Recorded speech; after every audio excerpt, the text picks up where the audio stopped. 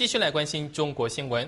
广东东莞市横沥镇村头村上千村民近日再度围堵在村委大楼外示威，抗议村干部私卖土地和严重贪污。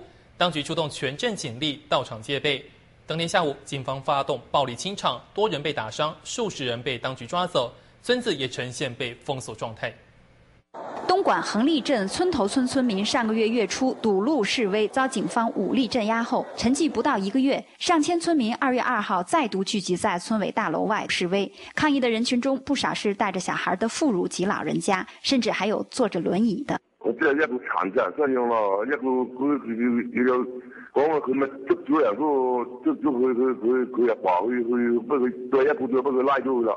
从嚟你呢个政府啊、村委会啊，你都冇照顾人都唔拉，卖田卖地全部卖咗，村民又冇钱翻，讲我咪就不得人就话要讲个走咯，狂一个。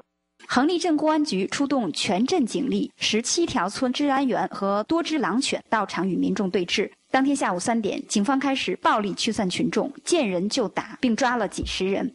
呃，而家捉咗几十个人都未放，琴晚晚黑又上门出人啊！又话同上次咁样，因为卖土地咁样，佢个司机讲而家维持佢啦，唔俾农村反抗啊！又打人又又咩咁样，好犀利噶！琴日打到有啲又呕血咗咁样，扭都打啊！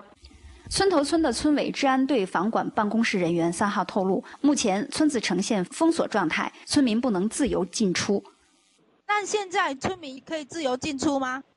这大地方不能自自由进出，你看你说的两个地方都不能就抓你了。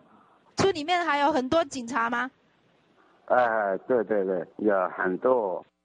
三年前，村头村村委以一万二一亩强征村民土地。近来，村民发现村委以每亩二十六万转卖给开发商，而且全村上千亩土地基本卖完。愤怒的村民去年十二月下旬开始了连续十多天的堵路抗议行动。今年元月三号，政府出动数百防暴警察武力驱赶，过程中有多位村民被抓和打伤。新唐人记者熊斌、方圆，特约记者古青采访报道。